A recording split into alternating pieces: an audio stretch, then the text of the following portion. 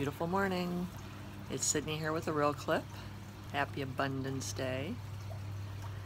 Have you ever been attempting to communicate with someone and you just couldn't get through? You couldn't get your meaning across? Well, sometimes we are like computers.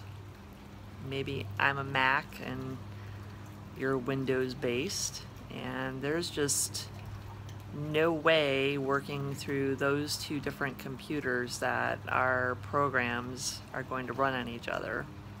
Or maybe we're both in Windows, yet I'm typing in Word and you're working on an Excel spreadsheet, and my Word document doesn't fit into your data cells. It's just not going to happen.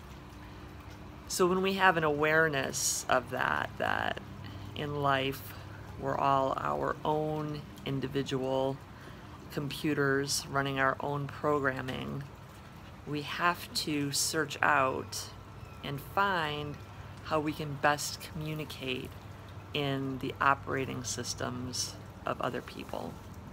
And then the commu communication goes very smoothly. So we can't expect to be understood when the systems and the files just don't line up. From my heart to yours, have a beautiful day.